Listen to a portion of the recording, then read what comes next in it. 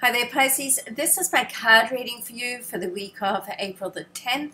Now, this week I'm using the pack from Sonia Choquette, and I'm not sure I've pronounced that right, but it's her Oracle cards, and the uh, title of the pack is The Answer is Simple. And the card I've selected for you this week is accept love. Here it is here, okay? Beautiful pink card, accept love.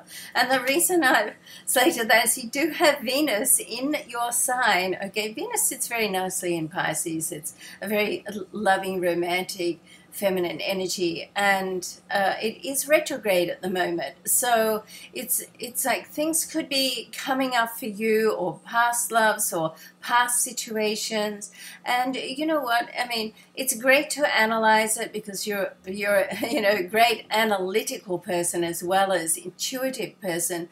But sometimes it's good just to accept love. And certainly when Venus goes out of retrograde in a week time at the end of next weekend then that's going to be a fabulous time for you, a beautiful time of love and romance. So, what you're doing right now is clearing the way to let love in. So, excuse me, here's the card again for you accept love.